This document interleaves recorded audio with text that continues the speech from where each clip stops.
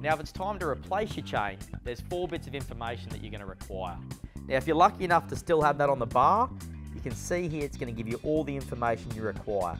The pitch, the gauge, the amount of links, and also the size of the bar. But if that's worn off, check out your instruction manual. But if you're throwing that away, you can also go down to your local Bunnings store. Now what you're going to require is either the chain or the actual model number of the unit and that way the team member is going to get you the right replacement. So for more tips and tricks, go to our how-to videos on ryobi.com.au or check out our YouTube channel. Ryobi, a cut above.